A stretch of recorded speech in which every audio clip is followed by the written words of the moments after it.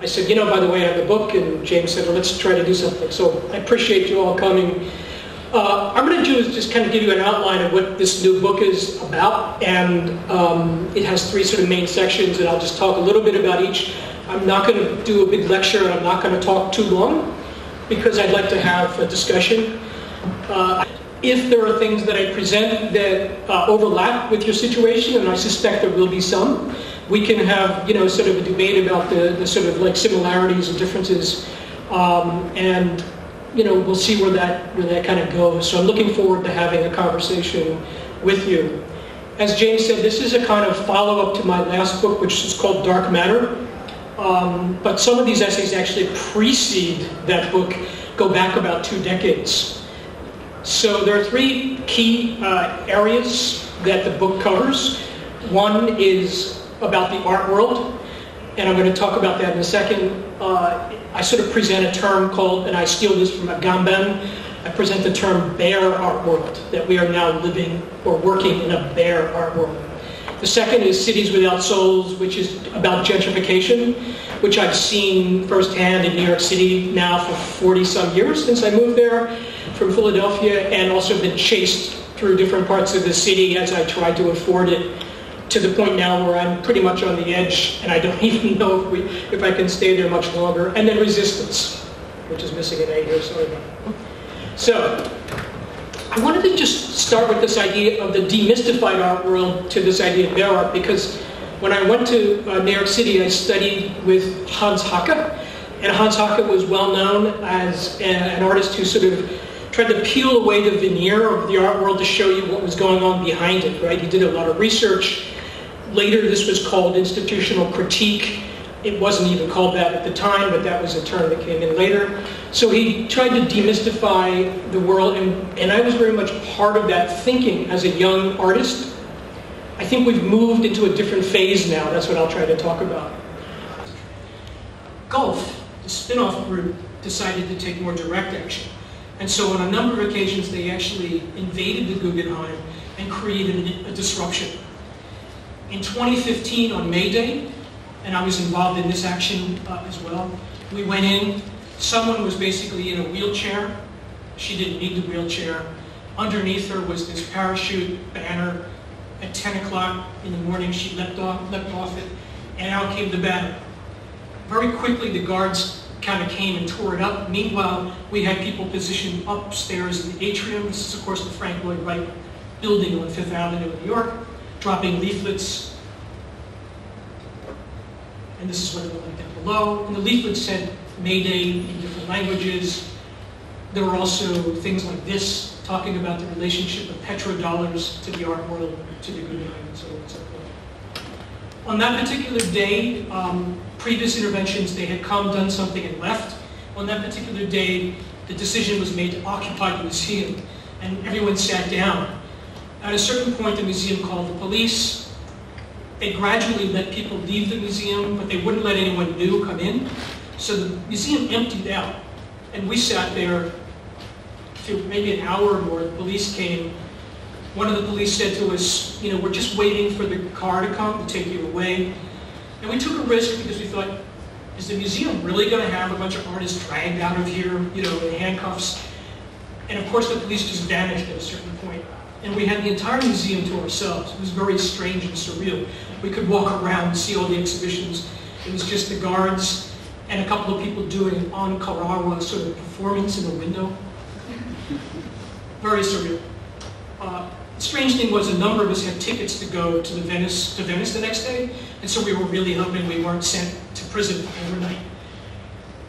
I just want to read one, two more things. This is one of them because I think Gulf really had sort of an interesting perspective, and as our name aggressively reflects back to the actually existing art world, I could call it the bare art world.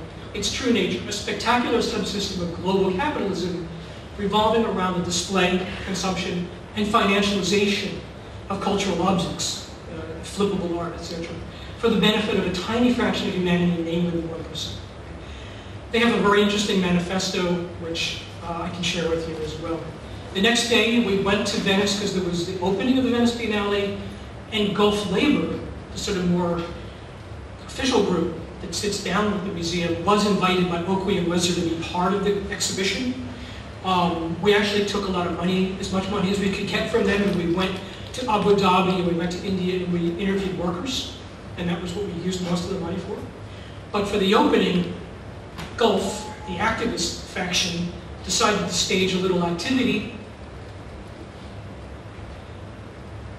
And we organized with an organization, an autonomous space, somewhat similar to this one called Sale Docks, which salt docks, which is in the city of Venice. And it has been occupied for six or seven years now.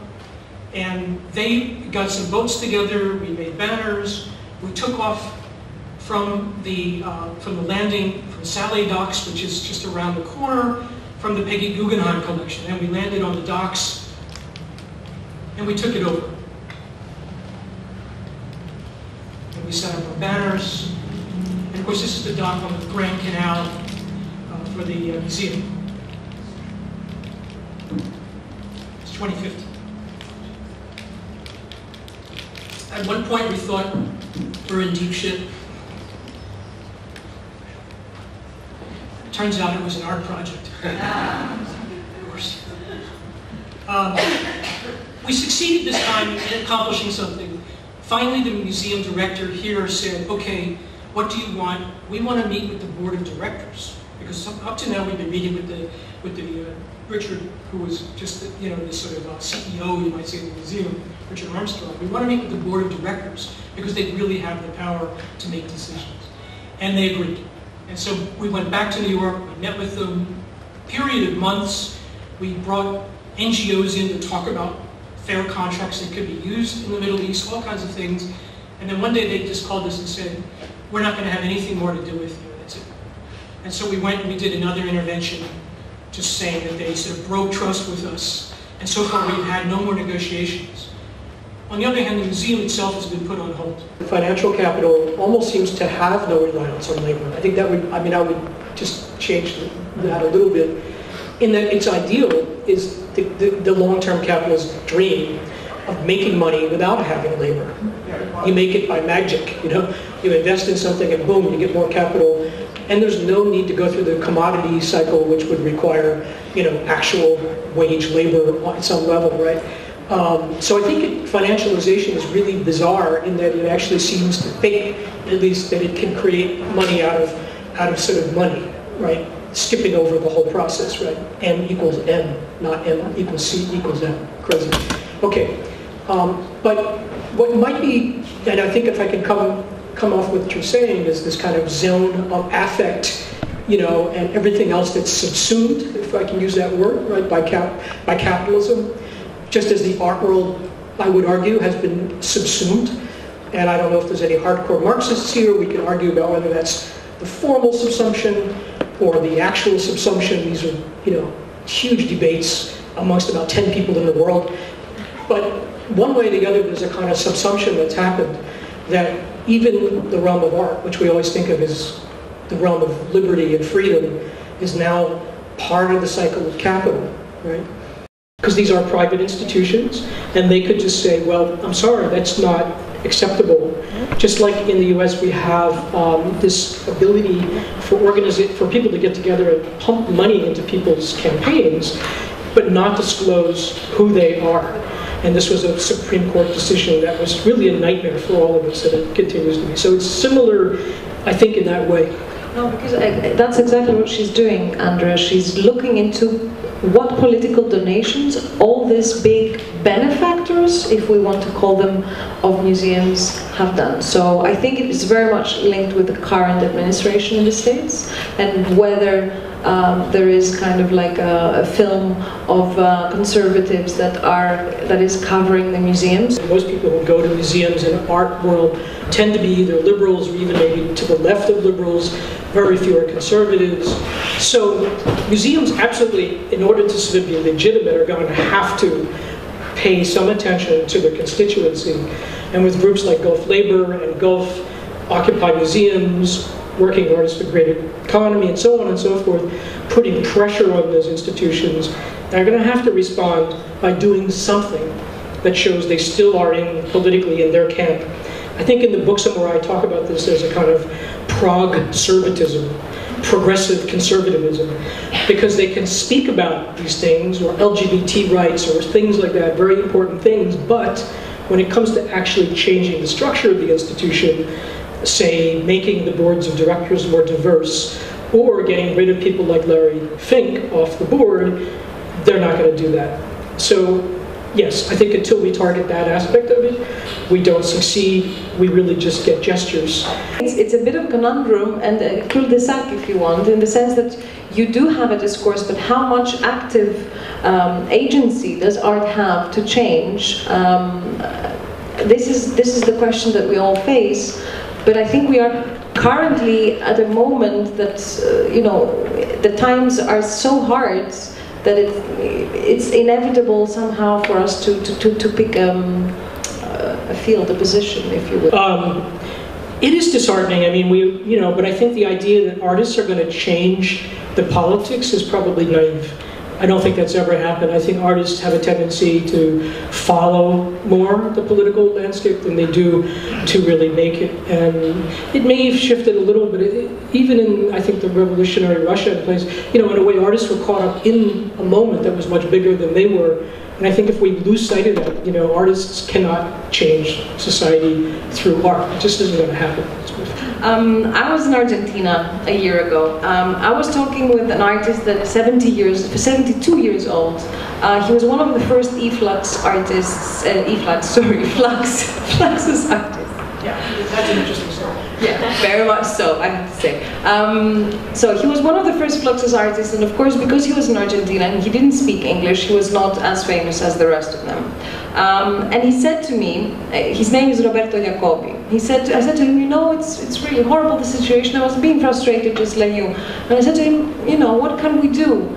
And he said to me, I'm sorry to say it. He said to me, uh, sorry, kiddo, you're fucked. Yeah.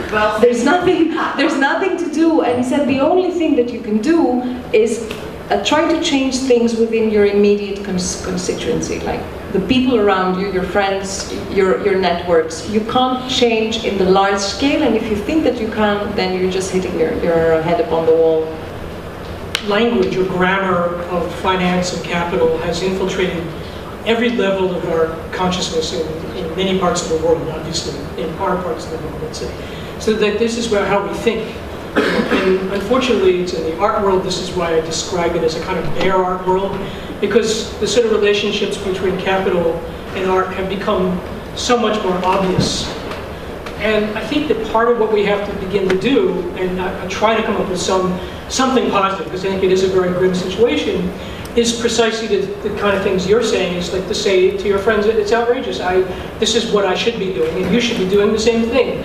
And push back against that need to monetize everything, you know, find ways of distributing, giving things away, whatever can, is possible to sort of, you know, overcome that, that situation. I think it's complicated in the sense that financial capital almost seems to have no reliance on labor. I think that would, I mean, I would just change that a little bit in that its ideal is the, the, the long-term capitalist dream of making money without having labor. You make it by magic, you know? You invest in something and boom, you get more capital. And there's no need to go through the commodity cycle, which would require, you know, actual wage labor at some level, right? Um, so I think financialization is really bizarre in that it actually seems to think, at least, that it can create money out of, out of sort of money, right? Skipping over the whole process, right? M equals M, not M equals C equals M. Crazy. Okay. Um, but what might be, and I think if I can come come off with what you're saying, is this kind of zone of affect, you know, and everything else that's subsumed, if I can use that word, right, by cap by capitalism, just as the art world, I would argue, has been subsumed. And I don't know if there's any hardcore Marxists here. We can argue about whether that's the formal subsumption or the actual subsumption. These are, you know, huge debates amongst about 10 people in the world. But one way or the other, there's a kind of subsumption that's happened that even the realm of art, which we always think of as the realm of liberty and freedom, is now part of the cycle of capital, right? Uh, social movement can exist also self-organized art in a city. And as long as the artists they have a coalition and participation in the social movement, the art world, uh, the underground art world is empowered, and also like the, the, the artists can empower the social movement, and the social movement defends the artists. Um, in a way, like um, we cannot expect anymore, you know, like the art to change the world. Okay, this was like a early 20th century idea that uh, seemed to fail. But we can continue believing that the artist, the art can change the people that will change the world. This means that, um, like, uh, we cannot have like an isolated art space that can defend itself. As long as existing social movement in a city, the artist will empower the social movement and the social movement will defend the place. Because, and also we cannot have uh, underground art as long as you don't have confrontation with the police in a city. Because the power of the gentrification is very, very strong, the power of the, of, the, of the state is very strong, you know, the power of the money is very strong. So as long as you have social movement against state and against capitalism, then you can defend some spaces that they can have like social activities, art activities, cultural activities, and also political activities. So for us, it's like um, the, the, the, cultural activities, the social activities, and the political activities, they have to be together. As long as they don't exist together, the political activities, they don't have aesthetics, the, the art uh, activities, they don't have meaning, and the social activities, they don't have power. I will give you like an example. Like after the Indignados movement, like a general social movement like in, in Greece and other countries, we have like this that we call somehow, we try to make a rough translation like the um, direct markets, uh, markets without uh, medium. They were like uh, producers, agricultural producers, that they were going in the, in the towns and in the cities, but this happened to place also in the towns, okay? That they were bringing the agricultural programs, di products directly from the from the village and from the from the countryside. They were bringing in the town. They were defending a square for an afternoon, like for some hours, and they were selling the products directly to the people without uh, without paying taxes. Occupy on Wall Street, at least, anyway. I mean, I know not the Ricardos and all the other movements are obviously very different, but um, there was an element definitely through the art world vis-a-vis -vis different things. The occupation of artist space was a piece of it. A group called 16 Beaver Street, where there were many discussions going on at the time, was definitely kind of feeding into it. And uh, Nato Thompson's exhibition, Living as Form, it, we were there and there was a bunch of us in the exhibition when Occupy was starting to really take root and everybody just said, well, let's go then. And so suddenly all these kind of artists kind of moved in. So I think there is a kind of interesting relationship. I would not go so far as to say that it was an art project, um, as some people have suggested, um, although I think it has certain relationships to the way art has transformed itself into an arena in which one can not only question and think and reflect on the world, but also talk about ways one can organize and be involved in the world. Right? I think this is an interesting thing that art has incorporated certain aspects of institutionality and administration into itself. So that, I mean, and this goes back to the Russian Revolution even, where artists were like not just thinking about making abstract art that somehow broke the rules, but like literally talking about organizing and creating counter institutions, the Vkhutemas, the famous educational institution, right? So it's, a, it's woven into, I think, modern and contemporary art to also think about how you're how you're dealing with the world in relationship to it organizationally, even institutionally. Um, I used a term in the last book in particular called the mock institution or mock institution. I like making words up, which is to say that artists creating their own institutions, but they're fake institutions.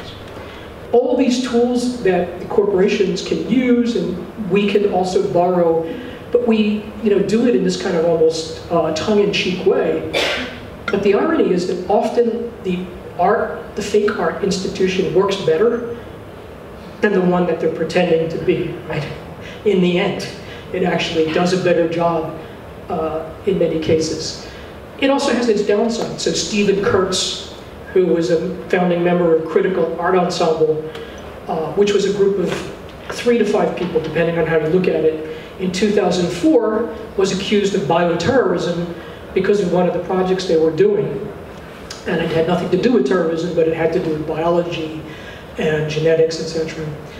And I think my analysis would be in part the government, this would have been under George Bush Jr., the government really sort of like looked at this critical art ensemble. It must be some network of, you know, collective, you know, uh, agents and terrorists. It's three, five people, you know, who basically didn't even have an NGO status. They just got together and did things. But they projected the possibility of an institutional reality that was much larger than it really was. And I think this is the moment that we are in in many cases, because if you look at the art world, it's full of institutions, right? The center for this, the school of that, you know, and 99.9% of it are, they don't really exist, not legally. They're not NGOs, they're not, in the US we call 501c3s, they're just, they're just made up.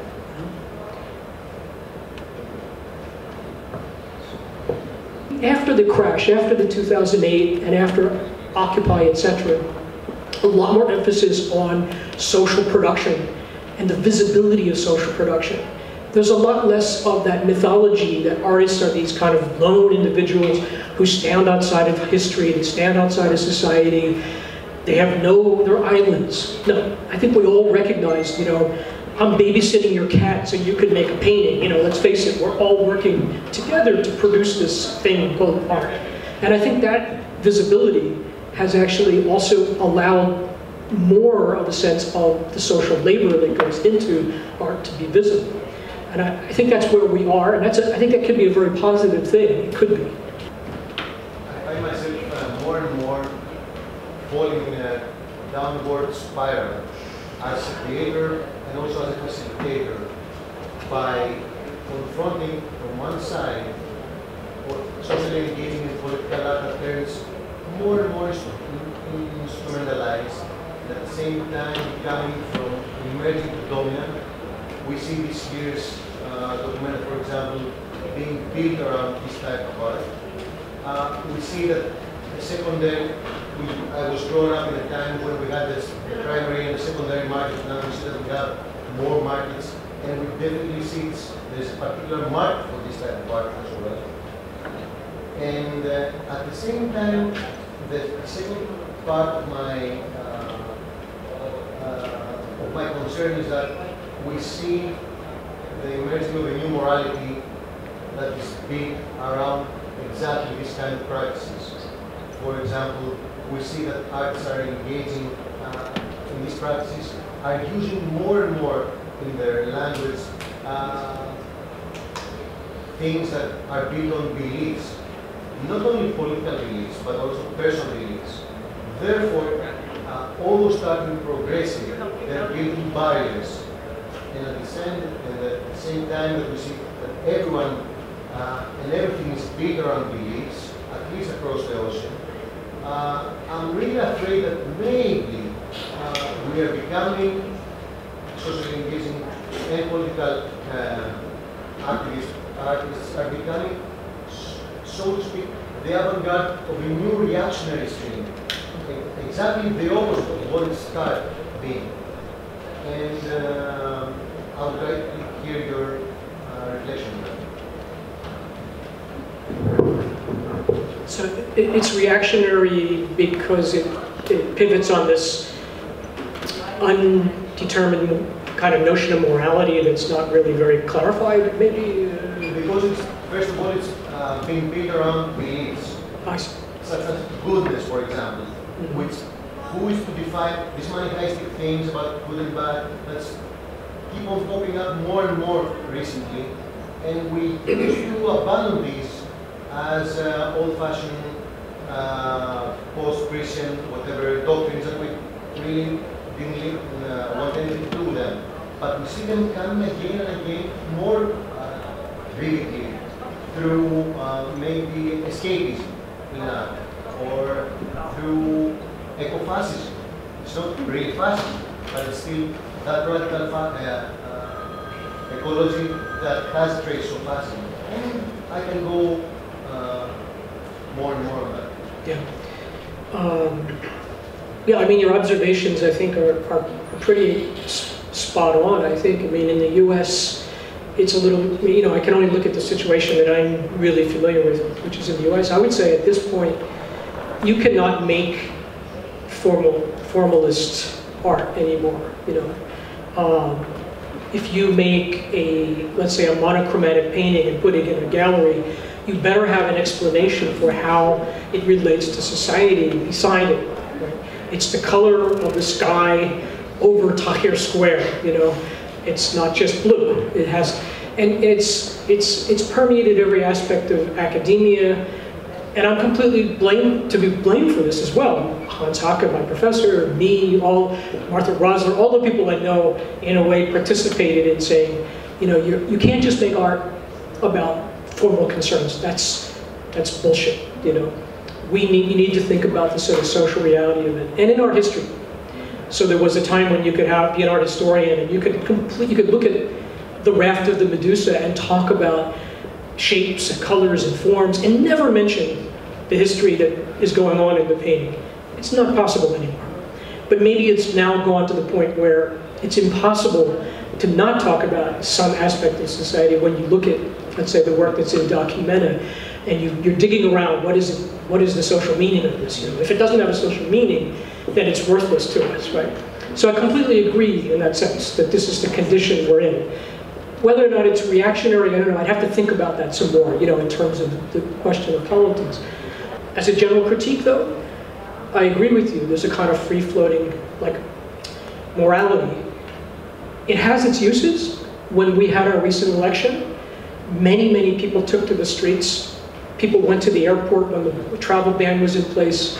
And it wasn't just activists, it wasn't people who had an analysis, it was like everybody, it seemed. Because they felt that they could do that, they should do that, they should be activists. It's, it's kind of interesting, it's kind of a generalization of dissent that we've seen happen since November, in the US anyway. If it just remains though at a kind of like morally you know, indignant level, I think it could easily be used in a very negative way as well. I mean, if it doesn't develop a, more critical analysis in an organization, then I would have to say. The reason I think that, uh, well, I, I, can only speak about Marx's idea of, of, of, art, which he spoke very little about, but he does talk a little bit about it in the Grundrisse, which is the theoretical text that lays the foundation, um, you know, for the work he did at Capital. And he talks about, you know, the artist basically produces uh, from and he uses the pronoun his, of course, from his natural tendency to make things, like, and he compares the artist to a silkworm, and that the silkworm would produce silk under any circumstances, and it's only human beings come along and see some value in the silk and make something else out of it. Precisely the same idea being that you would come along and see what the artist made, and then it would enter into the commodity, the field of the commodity, right? So that the production of art or the labor of art is not commodified prior to its possibility of entering into the system of capitalist relations. Um, I'm not sure that still is correct today. I mean, it's a much longer discussion, so I, we can't get into all the nuances maybe. But I do think there is some essence there that's important to grasp that the idea that, especially the young Marx proposed, that one could be, say, a painter, you know, in the afternoon, go fishing, you know, in the morning, tend to the tend to criticism in the evening. This idea that your labor would not be commodified ahead of time in any way, right? It would be yours. Your time would be your own, because it's really all about time in the end. I mean, if communism, as Guattari said, is about anything, it's about the liberation of time. And if your time can be liberated, then that seems to me to be the essence of what the possibility of art sometimes it does present, right? It presents it at least to the everyday person. The question is, does cultural work, being an artist, belong to working class? Is the same as, or is it belong to proletariat? I would say no. That doesn't mean that the proletariat doesn't produce what I would call art, even if the system doesn't necessarily, the system, the art world system doesn't recognize it. I would say that people do produce culture and art all the time, even when it's not recognized. But I would not say that the artist meaning those of us who have studied art, went to art school, that we are proletarian by any means, no. I'd like to be, think that I'm somehow in solidarity, but I would never consider myself. And I, I come from a very, pretty working class background. Do I think that the essence of art is uh, to just constantly produce? No, I don't think that's the case. I think all of us are much more complicated at this point. We're stuck in so many different subject positions and situations.